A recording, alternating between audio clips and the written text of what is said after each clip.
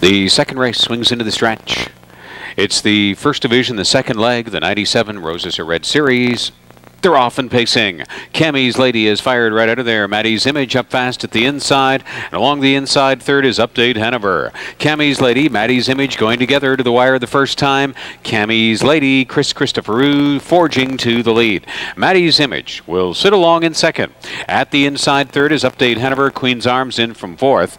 Relaxed away in fifth is Extreme Velocity. And Caroline is sixth in the field of a half dozen. Cammy's Lady to the quarter in 27 and 2. Maddie's Image Image sitting back in second with Update Hanover, another length and a half in third, another length and a half to Queen's Arms off the pace in fourth, another length and a half to fifth for Extreme Velocity, then Carolosh. Positions unchanged, three eighths complete, and they straighten out to the half, chasing Cammy's Lady, setting the pace. Maddie's Image under a firm rein is in the pocket. On the inside, third, Update Hanover, Queen's Arms yet to move from fourth, Extreme Velocity, a fresh fifth, and then Carolosh. And the half was in 57 and 1, 29 nine and four, second split. The action heats up now as Queen's Arm pops out from fourth to go first over on Cammy's Lady.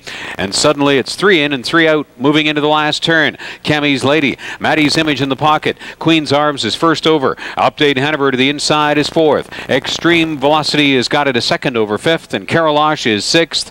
Cammy's Lady, Queen's Arms is inching in on the outside. Maddie's image was in the pocket and watching second over for extreme velocity to the top of the stretch, 126 and 2. They turn for home. Second leg, first division of the 97 Roses Are Red series. Since the outset, it's been Cammy's Lady, Queen's Arms. Here she comes, extreme velocity, bursting past for Trent Stollar from second over, and Carolosh is coming from sixth in search of second.